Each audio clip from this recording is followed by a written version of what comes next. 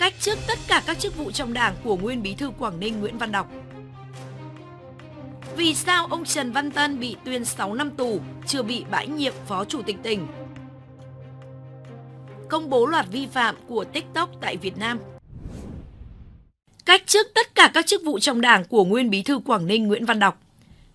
Thưa quý vị và các bạn, Ban Bí thư quyết định thi hành kỷ luật cách chức tất cả các chức vụ trong Đảng đối với nguyên Bí thư tỉnh ủy Quảng Ninh Nguyễn Văn Đọc, nguyên Chủ tịch tỉnh Nguyễn Đức Long. Hôm qua, Tổng Bí thư Nguyễn Phú Trọng chủ trì họp Bộ Chính trị và Ban Bí thư để xem xét thi hành kỷ luật tổ chức Đảng, đảng viên có vi phạm, khuyết điểm. Sau khi xem xét đề nghị của Ủy ban Kiểm tra Trung ương, Bộ Chính trị, Ban Bí thư nhận thấy Ban Thường vụ tỉnh ủy Quảng Ninh nhiệm kỳ 2015-2020 đã vi phạm nguyên tắc quy định của Đảng, quy chế làm việc, buông lỏng lãnh đạo chỉ đạo, thiếu kiểm tra giám sát để Đảng đoàn, Hội đồng nhân dân tỉnh, Ban cán sự Đảng, Ủy ban nhân dân tỉnh, Ủy ban nhân dân tỉnh và nhiều tổ chức Đảng trực thuộc vi phạm quy định của Đảng, pháp luật của nhà nước. Vi phạm của Ban Thường vụ tỉnh ủy Quảng Ninh nhiệm kỳ 2015-2020 đã gây hậu quả nghiêm trọng. Nhiều cán bộ đảng viên thuộc diện Ban Thường vụ tỉnh ủy quản lý vi phạm phải thi hành kỷ luật. Một số đảng viên bị khởi tố hình sự gây bức xúc dư luận, làm giảm uy tín của tổ chức đảng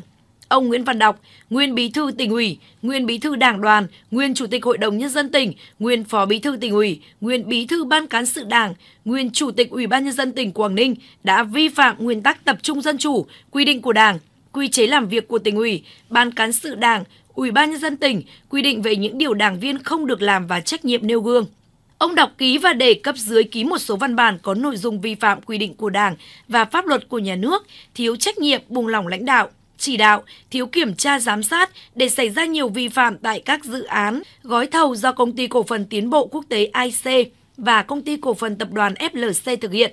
Thiệt hại lớn ngân sách nhà nước vi phạm khuyết điểm của ông Nguyễn Văn Đọc gây hậu quả rất nghiêm trọng, ảnh hưởng xấu đến uy tín của tổ chức đảng, chính quyền địa phương.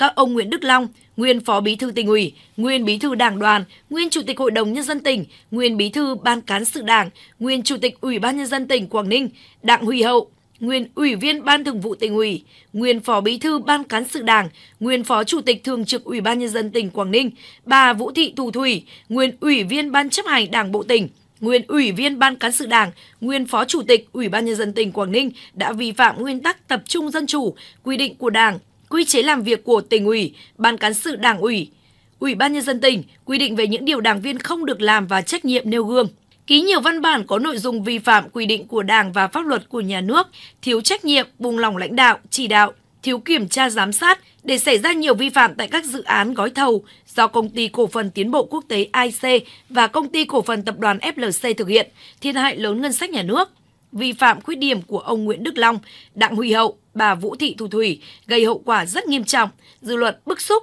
ảnh hưởng xấu đến uy tín của tổ chức đảng, chính quyền địa phương. Ông Vũ Xuân Diện, Ủy ban Ban thường Ủy viên Ban Thường vụ tỉnh ủy, trưởng ban nội chính tỉnh ủy, nguyên bí thư đảng ủy, nguyên giám đốc Sở Y tế tỉnh Quảng Ninh đã vi phạm nguyên tắc tập trung dân chủ, quy định của Đảng, quy chế làm việc của Đảng ủy Sở Y tế, quy định về những điều đảng viên không được làm và trách nhiệm nêu gương, ký một số văn bản có nội dung vi phạm pháp luật của nhà nước, thiếu trách nhiệm để xảy ra vụ án tham nhũng nghiêm trọng tại dự án bệnh viện Sản Nhi. Nhiều cán bộ đảng viên bị xử lý hình sự gây thiệt hại lớn ngân sách nhà nước, gây hậu quả rất nghiêm trọng, ảnh hưởng xấu đến uy tín của tổ chức đảng, chính quyền địa phương. Các ông Nguyễn Ngọc Thu, nguyên ủy viên ban chấp hành Đảng bộ tỉnh, nguyên bí thư Đảng ủy, nguyên giám đốc Sở Tài nguyên và Môi trường tỉnh Quảng Ninh, Trần Văn Hùng, nguyên ủy viên ban chấp hành Đảng bộ tỉnh, nguyên bí thư Đảng ủy, nguyên giám đốc Sở Kế hoạch và Đầu tư, nguyên bí thư Thành ủy, nguyên chủ tịch Ủy ban nhân dân thành phố Cẩm Phả, tỉnh Quảng Ninh đã vi phạm nguyên tắc tập trung dân chủ, quy định của Đảng, quy chế làm việc của Đảng ủy, cơ quan, quy định về những điều đảng viên không được làm và trách nhiệm nêu gương, ký một số văn bản có nội dung vi phạm pháp luật của nhà nước thiếu trách nhiệm gây hậu quả rất nghiêm trọng, thiệt hại lớn ngân sách nhà nước, ảnh hưởng xấu đến uy tín của tổ chức đảng, chính quyền địa phương. Căn cứ nội dung tính chất mức độ hậu quả nguyên nhân vi phạm theo quy định của Đảng về kỷ luật tổ chức đảng, đảng viên vi phạm, Bộ Chính trị quyết định thi hành kỷ luật cảnh cáo Ban Thường vụ tỉnh ủy Quảng Ninh nhiệm kỳ 2015-2020. Ban Bí thư quyết định thi hành kỷ luật cách chức tất cả các chức vụ trong Đảng đối với các ông Nguyễn Văn Đọc, Nguyễn Đức Long, Đặng Huy Hậu, Vũ Xuân Diện, bà Vũ Thị Thu Thủy, Nguyễn Ngọc Thu, Trần Văn Hùng đề nghị các cơ quan chức năng kỷ luật hành chính kịp thời, đồng bộ với kỷ luật Đảng. Vì sao ông Trần Văn Tân bị tuyên 6 năm tù, chưa bị bãi nhiệm Phó Chủ tịch tỉnh? Thưa quý vị và các bạn, lãnh đạo tỉnh Quảng Nam cho hay hiện ông Trần Văn Tân có đơn kiến nghị xem xét lại bản án. Sau khi có xử lý kỷ luật từ Trung ương, tỉnh sẽ thực hiện quy trình miễn nhiệm các chức danh đối với ông này. Chiều qua, Ủy ban Nhân dân tỉnh Quảng Nam tổ chức họp báo về tình hình kinh tế xã hội quý 3. Phóng viên đặt câu hỏi phía tỉnh này về việc vì sao chưa xem xét bãi nhiệm chức vụ Phó Chủ tịch Ủy ban nhân dân tỉnh đối với ông Trần Văn Tân khi ông này đã bị Tòa án nhân dân thành phố Hà Nội xét xử và tuyên án và tuyên 6 năm tù về tội nhận hối lộ liên quan đến chuyến bay giải cứu. Tỉnh cũng chưa xóa tư cách đại biểu Hội đồng nhân dân đối với ông Tân. Trả lời ông Nguyễn Như Công, tránh văn phòng Ủy ban nhân dân tỉnh Quảng Nam, chủ trì buổi họp báo cho hay, hiện nay ông Tân có đơn kiến nghị xem xét lại bản án. Chính vì vậy, việc xử lý kỷ luật ông Tân còn phải chờ kết luận của đoàn kiểm tra Trung ương. Sau khi có quyết định xử lý kỷ luật của Trung ương, tỉnh sẽ thực hiện quy trình miễn nhiệm các chức danh của ông Tân do Hội đồng Nhân dân tỉnh bầu. Ông Công cho biết, trước đó ngày 28 tháng 7, Tòa án Nhân dân thành phố Hà Nội đã tuyên các mức án đối với 54 bị cáo trong vụ án chuyến bay giải cứu. Ông Trần Văn Tân bị tuyên án 6 năm tù về tội danh nhận hối lộ. Tại buổi họp báo, phóng viên đặt câu hỏi, sau vụ ngộ độc bánh mì Phượng, thành phố Hội An, vấn đề quản lý an toàn vệ sinh thực phẩm được cơ quan chức năng của tỉnh thực hiện như thế nào? Ông Huỳnh Thuận, Phó Giám đốc Sở Y tế Quảng Nam cho biết, nguy cơ mất an toàn thực phẩm gần như thường trực trong đời sống mỗi chúng ta. Thường niên hàng năm, Sở Y tế là cơ quan thường trực tham mưu Ủy ban Nhân dân tỉnh xây dựng kế hoạch bảo đảm an toàn vệ sinh thực phẩm trên toàn tỉnh. Trên cơ sở đó, các địa phương cũng xây dựng kế hoạch để thực hiện.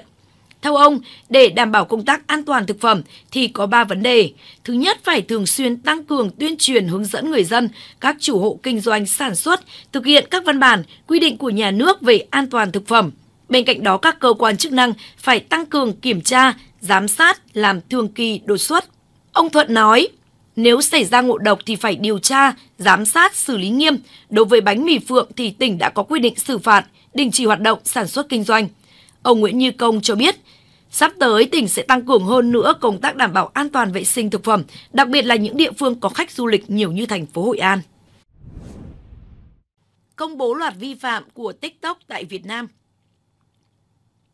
Thưa quý vị và các bạn, đoàn kiểm tra liên ngành đã phát hiện nhiều sai phạm của mạng xã hội TikTok trong quá trình cung cấp dịch vụ tại Việt Nam. Chiều qua tại Hà Nội, Bộ Thông tin và Truyền thông đã công bố kết luận của đoàn kiểm tra liên ngành về hoạt động của TikTok tại Việt Nam. Nền tảng TikTok là dịch vụ xuyên biên giới được TikTok, còn gọi là công ty TikTok Singapore quản lý vận hành, cung cấp vào Việt Nam thông qua trang web tiktok.com và ứng dụng TikTok từ cuối năm 2017, trở nên phổ biến từ năm 2021. Thời gian qua hoạt động của nền tảng TikTok có tác động không nhỏ tới đời sống xã hội trong nước, trong đó có những hành vi vi phạm pháp luật gây bức xúc dư luận. Nhằm tăng cường quản lý kịp thời phát hiện, chấn chỉnh và xử lý các sai phạm của nền tảng, từ ngày 22 tháng 5, từ ngày 22 tháng 5 năm 2023, Bộ Thông tin và Truyền thông đã phối hợp với các bộ ngành liên quan thành lập đoàn kiểm tra liên ngành, thực hiện kiểm tra toàn diện hoạt động của TikTok tại Việt Nam – Đối tượng kiểm tra là hai pháp nhân của TikTok tại Việt Nam, gồm Văn phòng đại diện TikTok tại thành phố Hồ Chí Minh và công ty trách nhiệm hữu hạn công nghệ TikTok Việt Nam.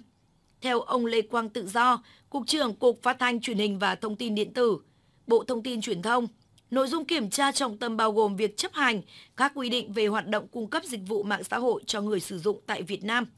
việc chấp hành các quy định về quảng cáo, việc bảo vệ bản quyền tác giả và quyền liên quan. Bên cạnh đó còn bao gồm việc tuân thủ các quy định liên quan đến hoạt động cung cấp dịch vụ thương mại điện tử và việc thực hiện nghĩa vụ về thuế. Sau khi kết thúc kiểm tra, xác minh trực tiếp tại trụ sở văn phòng TikTok và công ty TikTok Việt Nam, đoàn kiểm tra tiếp tục thu nhập.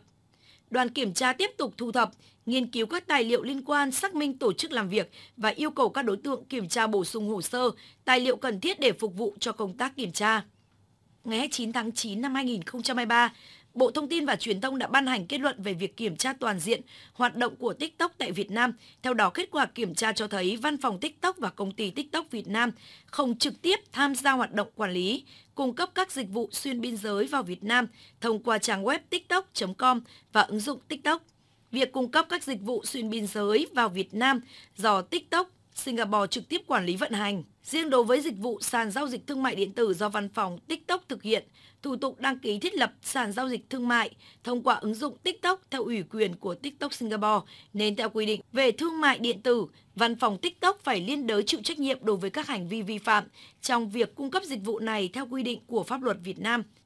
TikTok Singapore tuy không phải là đối tượng kiểm tra nhưng lại là đơn vị trực tiếp quản lý vận hành, cung cấp dịch vụ xuyên biên giới vào Việt Nam thông qua trang web tiktok.com và ứng dụng TikTok. Vì vậy, TikTok Singapore là đơn vị chịu trách nhiệm về việc chấp hành các quy định của pháp luật Việt Nam trong việc cung cấp các dịch vụ xuyên biên giới vào Việt Nam. Đoàn kiểm tra sau đó đã xác lập được một số hành vi vi phạm của TikTok Singapore trong việc cung cấp các dịch vụ xuyên biên giới vào Việt Nam. Theo Cục trưởng Lê Quang Tự Do, các sai phạm nổi bật tại Việt Nam của TikTok bao gồm các hoạt động cung cấp dịch vụ mạng xã hội, về bảo vệ trẻ em, về hoạt động cung cấp dịch vụ thương mại điện tử. Về cung cấp dịch vụ mạng xã hội, về bảo vệ trẻ em, TikTok Singapore lưu trữ thông tin vi phạm pháp luật Việt Nam tại các máy chủ CDN tại Việt Nam, cụ thể đó là thông tin giả mạo, xuyên tạc kích động bạo lực, kích động trẻ em, kích động tệ nạn xã hội, thông tin gây hại cho trẻ em. Quá trình kiểm duyệt nội dung của TikTok chưa hiệu quả, để lọt nhiều nội dung vi phạm pháp luật Việt Nam, cách thức phân phối, cách thức phân phối đề xuất nội dung dựa trên sự tương tác, sở thích, sự quan tâm của người dùng để dẫn đến việc nội dung vi phạm pháp luật Việt Nam được lan truyền với tốc độ nhanh chóng nếu một nếu được nhiều người dùng tương tác quan tâm. TikTok không có biện pháp công cụ bảo đảm an toàn về thông tin bí mật đời sống riêng tư của trẻ em, không gửi các thông điệp cảnh báo nguy cơ khi trẻ em cung cấp thay đổi thông tin bí mật đời sống riêng tư của trẻ em, không thực hiện việc phát hiện loại bỏ các hình ảnh, tài liệu thông tin, tiếp nhận thông tin đánh giá phân loại theo mức độ an toàn cho trẻ em. Hoạt động của TikTok vi phạm quy định tại khoản 1, điều 5 Nghị định số 72 ngày 15 tháng 7 năm 2013 về quản lý, cung cấp, sử dụng dịch vụ Internet và thông tin trên mạng – quy định tại khoản 1 điều 36 Nghị định 130 của Chính phủ quy định xử phạt vi phạm hành chính trong lĩnh vực bảo trợ, giúp xã hội và trẻ em. Nền tảng vẫn cho phép trẻ em dưới 13 tuổi mở tài khoản và nạ. Dù là nền tảng mạng xã hội chỉ dành cho người từ 13 tuổi trở lên, TikTok cũng chưa áp dụng chính sách bảo vệ nội dung có bản quyền của người dùng, chưa thông báo đầu mối liên lạc về vấn đề tác quyền. Quyền liên quan tới cơ quan chuyên môn quản lý nhà nước về quyền tác giả, quyền liên quan đến Bộ Văn hóa Thể thao và Du lịch và công khai trên trang thông tin điện tử của nền tảng TikTok. Về hoạt động cung cấp dịch vụ thương mại điện tử TikTok, chưa công bố thông tin về chủ sở hữu ứng dụng trên trang chủ của ứng dụng TikTok. Vi phạm quy định tại điểm D khoản 1 điều 62 Nghị định số 98. Nền tảng này cũng chưa lưu trữ đầy đủ thông tin người bán theo quy định khi đăng ký sử dụng dịch vụ và chưa thực hiện đầy đủ việc kiểm tra, giám sát để đảm bảo việc cung cấp, thông tin về hàng hóa của người bán trên sàn giao dịch thương mại điện tử theo quy định.